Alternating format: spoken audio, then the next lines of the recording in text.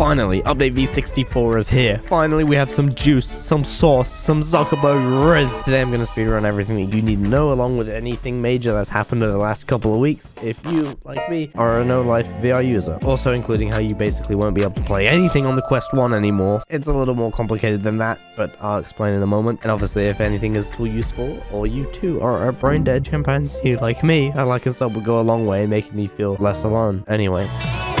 Worst rapper to ever spit on an open mic. First, improved pass-through quality. This is the big one. The one that you may have already heard about elsewhere online, like via worse VR YouTubers who are less sexy, funny, and likable than me. Meta CTO Andrew Boldsworth...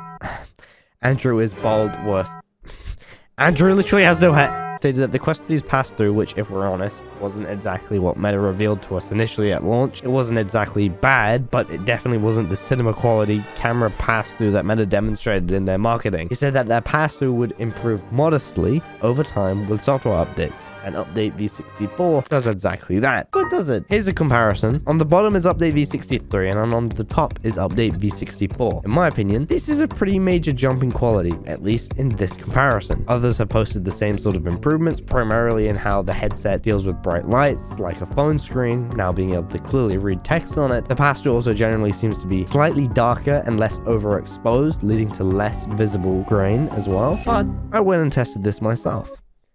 As I should, as this is my job. It's kind of an improvement. I think it's pretty situational, as they seem to have cranked down the headset's exposure overall, leading to a darker picture, which in turn allows for better visibility of screens, and it hides a lot of the grainy quality that you could clearly see with the previous, more exposed version of the pass-through on Update V63 and prior. But the actual quality of this new pass-through is still not great, especially once you start moving. You still get a bunch of nasty distortion and fucking painful to look at jittering on anything that you're looking directly at, like my hand here when you're moving. I think in fairness, my conditions may be slightly unfair as I'm using studio lights and a bunch of LED strip lights, but in this lighting condition here, there does seem to be a noticeable improvement. The fluff on my hoodie is clearer, colors are all slightly more natural looking, and honestly, it shocked me how good that this looks. I think the pass-through is still just a bit sensitive to lighting conditions, as you would expect, so how big of an improvement that you'll see will be highly dependent on your room's lighting and what you're looking at. A lot of the grain and the distortion is all still there. It's just that by dropping the exposure and making the picture darker as a whole, that hides a lot of it. But overall, in fairness, this improvement is pretty lit.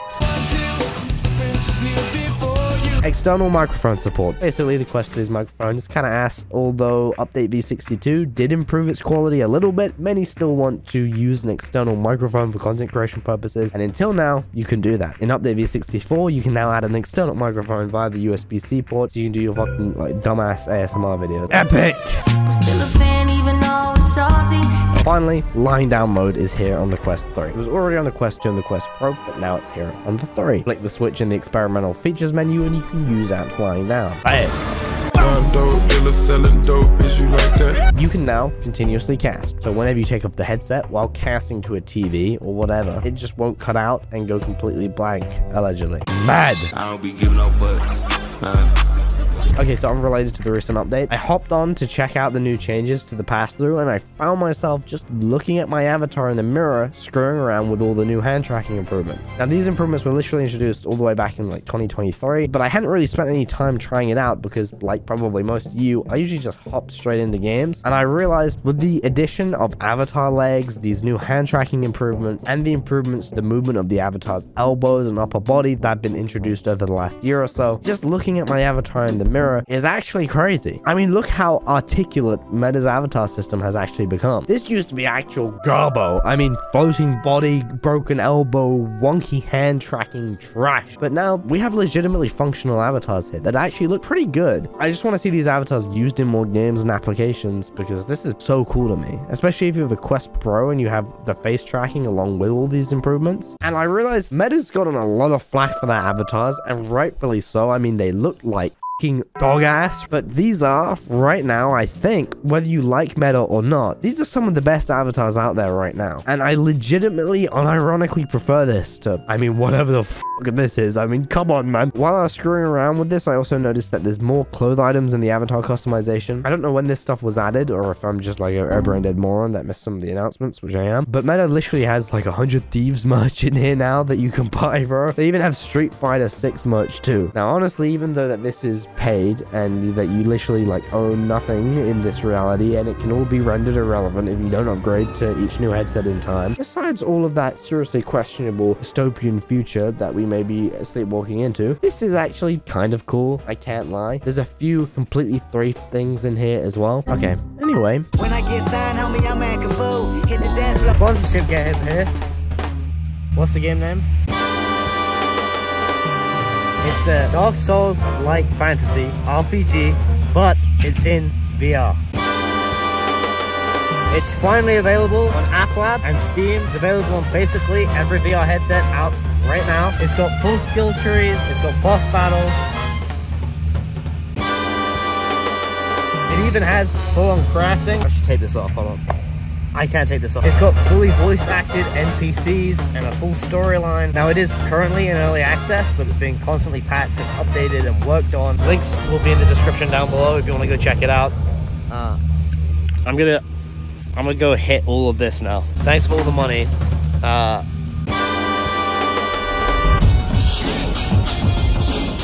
Okay, now to speedrun literally everything else that's happened in the last couple of weeks rather than dragging it out into multiple near daily uploads like everyone else because I actually respect your time, even though literally no one appreciates this anyway. The Quest 1 is actually now officially dead and buried. Ironically, Dead and Buried, the game, is also dead and buried, uh, but that's besides the point. Basically, any new games releasing to the Quest Store or App Lab flat out won't be allowed to support the Quest 1 at all from next month onwards. I know that some of you guys won't care because you're on the Quest 2 or the Quest 3, but this will happen to these headsets too. The Quest 2 is next on the chopping block. I mean, Meta looks to actually be trying to clear the Quest 2 stock as we speak with its recent $100 price drop and the Quest 3 Lite leaks, which is the headset that's seemingly intended to replace it at like $300 or so. Though granted, this sort of lack of support isn't going to come anytime soon. This is now only happening five years after the Quest 1's release, so all things considered, this thing has had a pretty fucking great run. It just sucks that this is the way it is, and that all of this tech is in a constant state of vaporware that's replaced and discontinued and then destroyed every few years. The problem I have with this is that Meta flat out aren't letting developers support the headset at all onwards of May. If you want to make a game that could run on the Quest 1, or you have a game that already runs well enough on the Quest 1, and you put it on the Quest Store for those users, you can't do that anymore. Already established games like Gorilla Tag that have been able to run on the Quest 1 for years now are being delisted from the Quest 1 store. Even though these headsets are capable of running the games, they're just not allowed to be supported at all. Quest 1 players that have the game installed can still play games like Gorilla Tag for the time being, but judging by the wording that Gorilla Tag used in their own tweet explaining this, they stated that they're going to announce specific details as to how Quest 1 players will be affected as things change. And at least to me, that clearly implies that the Quest 1 is about to lose support on a host of different games as well, not just Gorilla Tag. I get that these games have to move away from that hardware in order to progress and in order to optimize for the Quest 2 and 3 and produce bigger updates and bigger maps,